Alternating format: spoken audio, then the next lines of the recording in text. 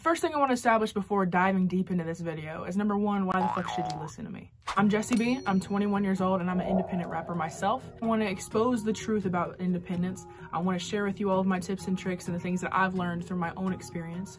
And I've gotten a lot of DMs and questions about steps I took in order to get to the point that I'm at today. The first thing you need to understand about being an independent artist is the fucking definition of independence, okay? Let's establish what an independent artist looks like and then we'll get down to the nitty gritty of how to be one. The definition of being an independent artist. According to that definition, you are responsible for all of your music. Okay, no one's gonna make the music for you. You're responsible for writing all of your lyrics. You're responsible for filming it. You're responsible for editing it. You're responsible for funding everything. And if it doesn't get done, it's no longer an excuse. It's your own fucking fault. Second truth about being an independent artist is that no one is going to do it for you. Stop thinking that you deserve to be an independent artist, okay? Not gonna happen. I don't even know why I'm holding this anymore. One thing that I struggled with when I first started doing music was that I thought if someone would just notice my music, if the people that I looked up to would just notice what I'm putting out there and listen to my bars and see what I'm capable of, that somehow in this magical fairy tale land, they would come and save me and they would just hand me my entire music career. And that's just not how fucking life works, okay?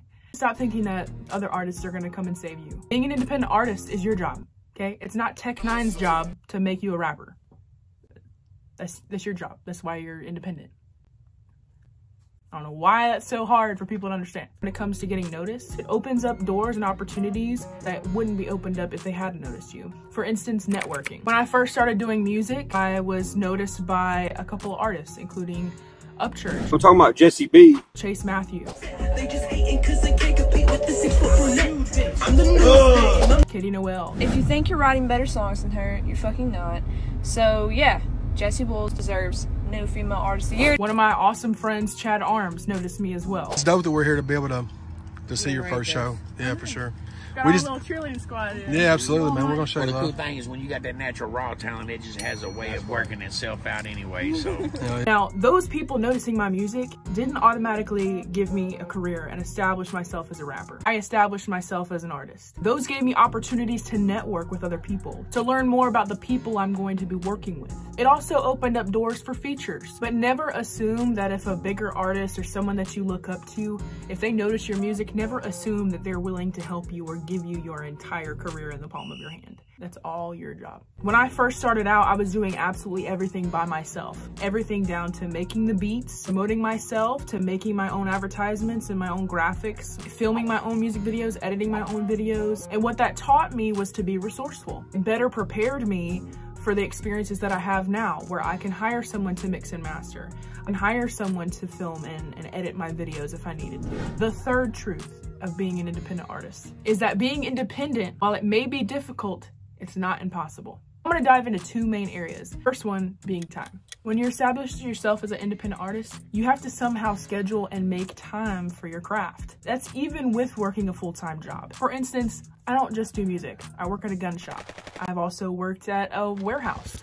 And then I worked at a fucking hair color store. I worked at many different places, but those were all placeholders to help fund the bigger idea, the music. Not only do you have to schedule and make time and opportunities for your craft, you have to stick to it. You have to be consistent about it. Time is a really difficult concept for independent artists. They can't understand like how, okay, how am I supposed to work a full-time job, make all this money to help fund my music, and somehow still make music? What the fuck? It's possible. It's difficult, but it is possible.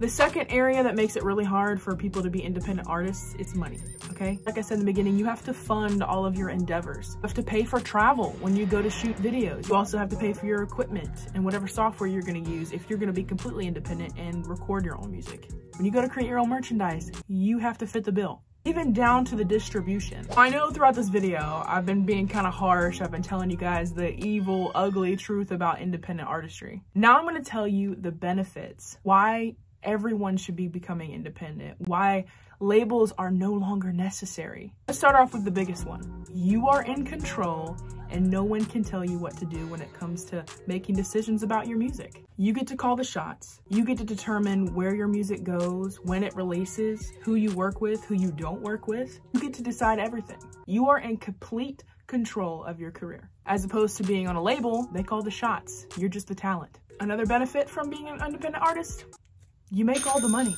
okay? Everything that you release, everything that you put out, all of the streams, all of the views from your YouTube, whatever, all of the revenue goes to you. As opposed to being on a label, you're probably making a fraction of what the label is making from your music, from everything that you've written, you've come up with, you sang, you rapped, whatever. The final benefit I want to talk about when it comes to being an independent artist is that there is endless opportunity and you get to create it. You get to be in charge. You get to design everything that you do. You get to sit back at the end of the day and say, this is something that I did. You came to this conclusion, you made your dreams happen, and you decided to change your life. So that's all I got for you today. We're gonna go ahead and do an overview of everything that we talked about in this video. If you wanna go ahead and screenshot what I'm about to put on the screen, that way you'll have all the information we discussed in this video to help further your music. The first truth about being an independent artist is that you are responsible for your own music. The second truth, getting noticed encourages opportunities, not easy success. Three, being an independent artist is difficult, but not impossible. And finally, being an independent artist gives you complete control of your talent, your career, and your future. Anyway, I love you guys. Take care and uh, go make some awesome fucking music.